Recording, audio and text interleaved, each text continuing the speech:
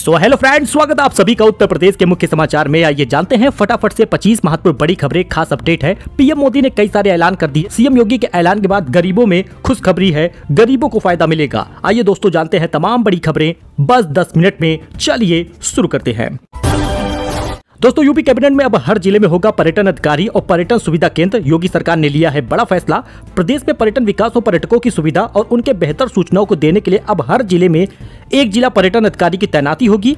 हर ज़िले में पर्यटन विभाग का एक कार्यालय होगा। पर्यटन सुविधा व सूचना केंद्र होंगे ताकि पर्यटकों और श्रद्धालुओं को किसी भी तरह की जानकारी के लिए यहाँ वहाँ भटकना न पड़े।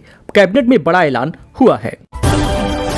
दोस्तों, वहीं पर राम मंदिर का निर्माण कार्य पड़ गया। धीमा, सैकड़ों मजदूरों ने छोड़ दिया काम। आपको बता दें, अब वापस नहीं आ रहे ये लोग। राम मंदिर निर्माण समिति के अध्यक्ष ने कहा कि लॉर्सन एंड ट्रूबो को श्रमिकों की संख्या बढ़ाने के निर्देश दिए गए हैं। अगर 200 से 250 और श्रमिक नहीं जोड़े गए तो दिसंबर तक काम पूरा करना मुश्किल होगा, क्योंकि राम मंदिर का निर्माण कार्य धीमा हो गया है। सैकड़ों मजदूरों ने काम छोड़ा है। तो यूपी में लफ्ज जिहाद पर अब उम्र कैद होगा। बिल पास हो गया है, दोषी पर जुर्माना भी बढ़ाया गया है, कोई भी व्यक्ति कर सकेगा शिकायत। जी दोस्तों, यूपी में लफ जिहाद के दोषी को अब उम्र कैद की सजा होगी, साथ ही एक लाख रुपए का जुर्माना भरना पड़ेगा। राज्य विधानसभा में मंगलवार को लफ जिहाद विरोधी बिल पास हो गया है। जय योगी सरकार ने बिल पास करवा दिया है और धन परिवर्तन के लिए विदेशों से होने वाले फंडिंग रोकने के लिए सजा को सख्त भी किया गया है। सामूहिक धन परिवर्तन पर 14 साल की सजा होगी। आप यहाँ पे बाकी डिटेल देख सकते हैं। नाबालिग एस सी महिला के साथ लव जिहाद पर दो से दस साल तक की सजा है, पच्चीस हज़ार जुर्माना है और अब पाँच से चौदह साल तक की जेल होगी और एक लाख रूपए जुर्माना लगेगा। अवैध ढंग से सामूहिक धन परिवर्तन कराने पर अभी तीन से दस साल की जेल थी और पचास हज़ार जुर्माना था। अब सात से चौदह साल की जेल होगी, एक लाख जुर्माना लगेगा। अब कोई भी व्यक्ति धर्मांतरण के मामलों में एफआईआर दर्ज करा सकता है। पहले पीड़ित तो माता पिता या भाई बहन की मौजूदगी ज़रूरी थी। लव जिहाद के मामलों की सुनवाई सेशन कोर्ट से नीचे का कोर्ट नहीं करेगा। लव जिहाद के मामले में सरकारी वकील को मौका दिए बिना जमानत याचिका पर विचार नहीं किया जाएगा। सभी अपराध गैर जमानती होंगे। तो दिल्ली में जंतर मंतर पर प्रदर्शन करेंगे यूपी के पेंशनर। बुधवार को धरने पर बैठेंगे। आपको बता दें, न्यूनतम पेंशन बढ़ोतरी की मांग की गई है। जी हाँ, बुधवार को पेंशनर बढ़ोतरी की मांग को लेकर 31 जुलाई दिल्ली के जंतर मंतर पर धरना दिए हैं। ईपीएस 95 राष्ट्रीय संघर्ष समिति के प्रांतीय अध्यक्ष ओम शंकर तिवारी ने पेंशनरों को संगठन होने और धरने को सफल बनाने की अपील की है।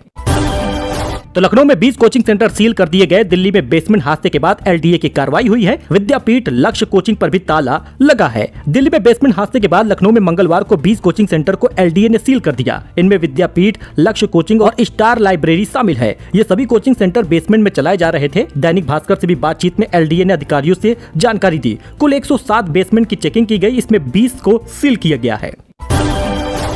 आनंदीबेन पटेल बनी रह सकती हैं राज्यपाल। उनतीस जुलाई को पाँच साल हो चुके हैं पूरे। तीन महीने का मिल सकता है विस्तार। जी उत्तर प्रदेश की राज्यपाल आनंदीबेन पटेल का कार्यकाल उनतीस जुलाई को खत्म हो गया है, लेकिन अब तक उत्तर प्रदेश के नए राज्यपाल की घोषणा नहीं हुई। सूत्रों की माने तो आनंदीबेन पटेल को अग्रिम आदेशों तक पद पर बने रहने को कहा गया है। यूपी में अब तक किसी भी गवर्नर को दोबारा मौका नहीं मिला, आनंदीबेन पटेल को दोबारा मौका मिला है। यह उत्तर प्रदेश की राजनीति में इतिहास में पहली बार हुआ है। सूत्रों की माने तो अगले तीन महीने के लिए आनंदीबेन पटेल को सेवा विस्तार दिया जा सकता है। तो अब गोवा में होगी शराबबंदी। भाजपा विधायक ने विधानसभा में उठाई मांग। जी हाँ, भारतीय जनता पार्टी के मायम विधायक प्रमेंद्र सेठ ने मंगलवार को गोवा में शराबबंदी की मांग की। उन्होंने कहा कि इससे बड़े स्तर पर शराब पीने पर रोक लगाने में मदद मिल सकेगी। सबसे ज़्यादा शराब की खपत वाले राज्यों में से एक गोवा में इसे बंद किए जाने की मांग उठ रही है। मंगलवार को गोवा विधानसभा में भारतीय जनता पार्टी के विधायक ने यह मांग रख दी है। तो यूपी में नब्बे हज़ार गाँवों की सितंबर तक तैयार हो जाएगी घरौनी ड्रोन से सर्वे शुरू हुआ है। जी हाँ दोस्तों, यूपी में नब्बे हज़ार गाँवों को सितंबर तक घरौनी तैयार की जाएगी। प्रदेश के तिरसठ हज़ार गाँवों में अब तक अट्ठासी लाख घरौनियाँ तैयार की जा चुकी है। मुख्यमंत्री योगी आदित्यनाथ के निर्देश पर राजस्व परिषद बची हुई घरौनियाँ तैयार कराने के लिए मंगलवार से ड्रोन से सर्वे शुरू कर दिया है। राजस्व परिषद के अध्यक्ष डॉक्टर रजनीश दुबे ने मंगलवार को सर्वे ऑफ़ इंडिया के अधिकारियों के साथ ये बैठक की है।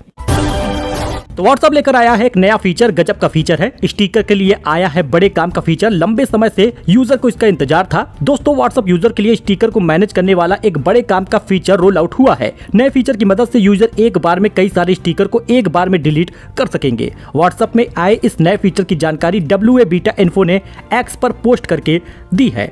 एक साथ डिलीट होंगे और मूव हो जाएँगे स्टिकर अब यहाँ पे देख सकते हैं, इसका स्क्रीनशॉट शेयर किया गया है। अब यहाँ पे आप सेलेक्ट कर सकते हैं, उतने स्टिकर को डिलीट भी कर सकते हैं। भेज भी सकते हैं, यानी काफ़ी अच्छा अपडेट है।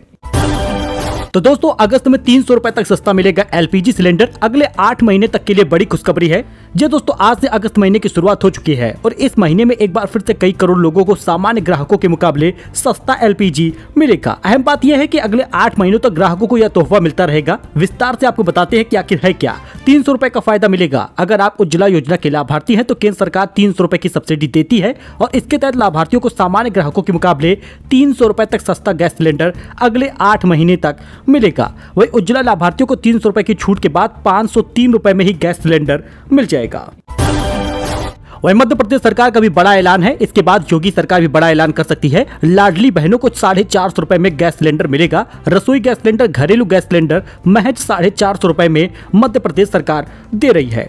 जी हाँ दोस्तों मध्य प्रदेश की लाडली बहनों के लिए एक और बड़ी खुशखबरी है। सीएम मोहन यादव ने रक्षाबंधन से पहले लाडली बहनों के लिए एक और बड़ा ऐलान किया है। मंगलवार को इन्होंने कैबिनेट बैठक में इसका निर्णय लिया है और आंगनबाड़ी कार्यकर्ताओं को लेकर भी बड़ा फैसला लिया गया है। कुल मिलाकर अब आपको साढ़े चार सौ रुपए में गैस सिलेंडर मिलेगा। और बाकी का जो पैसा है वो सरकार देगी। तो वाराणसी बरेली समेत आठ ट्रेनें दो दिनों के लिए निरस्त की गई हैं। यहाँ पर आप पूरी लिस्ट देख लीजिए शेड्यूल देख लीजिए। मंगलवार को बरेली जंक्शन से गुजरने वाली पंद्रह ज़ीरो छिहत्तर शक्तिनगर त्रिवेणी एक्सप्रेस और बाकी आप डिटेल देख सकते हैं। इन सभी ट्रेनों को निरस्त किया गया है। हालाँकि चालीस ट्रेनों का संचालन निरस्त हुआ है। इसके बाद दो दिनों तक निरस्त रहेंगी ये सारी ट्रेनें। आप इसका डिटेल देख सकते हैं। तो फ्री राशन लेने वाले ऐसे कार्ड धारकों पर अब कसे का सिकंजा बन रही है लिस्ट फ्री राशन लेने वाले ऐसे कार्ड धारकों पर सिकंजा कसने वाला है, जो फर्जी तरीके से आयकर दाता और पाँच एकड़ से अधिक जोत वाले किसान और मृतकों के नाम पर राशन ले रहे हैं। दोस्तों, फर्जी तरीके से आयकर दाता पाँच एकड़ से अधिक जोत वाले किसान और मृतकों के नाम पर राशन लेने वालों पर सिकंजा कसा जाएगा? ऐसे राशन कार्ड धारकों की सूची भी तैयार हो रही है। जाँच में एसडीएम, ईओ और बीडीओ लगाए गए हैं। वही विभाग की ओर से जाँच शुरू कर दी गई है। सूची में चिन्हित अपात्रों का सत्यापन बंकी ब्लॉक के ढकौली ग्राम पंचायत से किया गया है। वहीं पर सभी जिलों में ऐसे ही नियम लागू हुए हैं। अगर आप भी इनकम टैक्स वगैरह देते हैं या पाँच एकड़ से ज़्यादा ज़मीन है राशन लेते हैं वसूली हो सकती है एक्शन हो सकता है आप पर नियम जारी हुआ है। तो संविदा शिक्षकों के लिए बड़ी खुशखबरी है। सत्तावन हज़ार सात सौ हो गया बेसिक सैलरी। यूपी के इस यूनिवर्सिटी ने लिया है बड़ा फैसला। दीनदयाल उपाध्याय गोरखपुर विश्वविद्यालय प्रशासन ने संविदा शिक्षकों के लिए बड़ी राहत दी है। तीन साल पहले के फैसले को पलटते हुए उनका बेसिक सैलरी नियमित शिक्षकों की तरह निर्धारित करने का निर्णय लिया है। दीनदयाल उपाध्याय गोरखपुर विश्वविद्यालय प्रशासन ने संविदा शिक्षकों की बड़ी राहत दी है। अब उनको सत्तावन हज़ार सात सौ रुपए तक की सैलरी मिलेगी। तो यूपी में मूसलाधार बारिश हुई, विधानसभा परिसर में पानी भर गया, लखनऊ नगर निगम और महापौर का आवास भी डूब गया। दोस्तों, बुधवार को यूपी के कई जिलों में मूसलाधार बारिश हुई और उमस भरी गर्मी से लोगों को राहत ज़रूर मिली है, लेकिन लखनऊ वालों के लिए बारिश आफत बन गई, क्योंकि घरों में पानी घुस गया। रायबरेली, लखीमपुर, बाराबंकी, सीतापुर, गोंडा, बलरामपुर कई इलाकों में जलमग्न हो गया। लखनऊ में तो पानी सड़कों पर बहने लगा, इसके चलते जनजीवन पूरी तरह से अस्त व्यस्त हुआ है। भीषण बारिश हुई है और साथ ही आपको बता दें, विधानसभा के आसपास की स्थिति तो बेहद खराब रही। यहाँ सत्र चलने की वजह से तमाम वीआईपी गाड़ियाँ फंसी रही। तो पूजा खेड़कर की आईएएस की नौकरी खत्म हो गई। यूपीएससी ने लिया फर्जी दस्तावेजों पर सख्त फैसला। प्रशिक्षु आईएएस पूजा खेड़कर को यूपीएससी ने नौकरी से हटा दिया है। फ़िलहाल वह प्रोबेशनर पर रहेंगी, लेकिन अस्थायी नियुक्ति से पहले ही उन्हें बाहर कर दिया गया है। पूजा खेड़कर फर्जी दस्तावेजों का आरोप इन पर लगा था। काशी विश्वनाथ को दान किए गए हीरे का मुकुट, कीमत सैतालीस लाख रुपए है, दो हज़ार दो सौ चौरानवे हीरे जड़े हैं। बीच में भगवान शिव की खूबसूरत मूर्ति भी बनी है। जी हाँ काशी विश्वनाथ को दान में मिला है हीरे का मुकुट। वही वाराणसी में 45 बिल्डिंग के 14 बेसमेंट सील कर दिए गए हैं। बेसमेंट के 13 कोचिंग सेंटर पर जड़ा है ताला 19 को बंद करने का नोटिस मिला है। अगर आपके मकान में भी बेसमेंट है तो नियम को जान लीजिएगा, क्योंकि जब से तीन बच्चों की मौत हुई है बेसमेंट में फंस तब से सरकार एक्शन में आ गई है। वाराणसी की बिल्डिंग में अंडरग्राउंड फ्लोर यानी बेसमेंट में संचालित कोचिंग पर नगर निगम ने एक्शन लिया है। तो नितिन गडकरी ने इंश्योरेंस प्रीमियम से जीएसटी हटाने की मांग की है। वित्त मंत्री निर्मला सीतारमन को लेटर लिखा है। अभी इसमें 18 परसेंट जीएसटी लगता है, लेकिन गडकरी ने इंश्योरेंस प्रीमियम से जीएसटी हटाने की मांग वित्त मंत्री से की है। तो इसमें थोड़ी राहत मिल सकती है।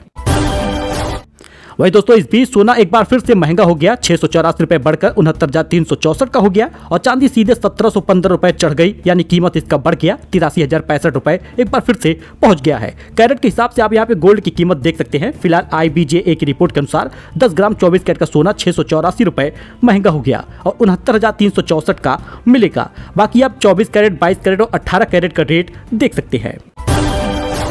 तो लखनऊ में नौकरी के लिए डिप्टी सीएम का घर घेरा गया। स्वास्थ्य विभाग के संविदा कर्मी बोले, ज़बरदस्ती हटा रहे सीएमओ मनमानी पर उतारू हैं। लखनऊ में संविदा कर्मचारियों पर डिप्टी सीएम ब्रजेश पाठक के आवास का घेराव किया गया। एनएचएम कर्मचारियों का कहना है कि आदेश के बाद भी सीएमओ स्तर पर सेवा विस्तार नहीं दिया जा रहा। अब मजबूर होकर डिप्टी सीएम से गुहार लगानी पड़ रही है। सो दोस्तों, ये आज के कुछ मुख्य समाचार थे, कुछ जानकारी थी उत्तर प्रदेश के और अन्य राज्यों के। मिलते हैं नए वीडियो में नई जानकारी के साथ। वीडियो पसंद आया हो तो लाइक करिएगा, सब्सक्राइब करिएगा। लेटेस्ट न्यूज़ के लिए फ़िलहाल के दोस्तों इतना ही। धन्यवाद।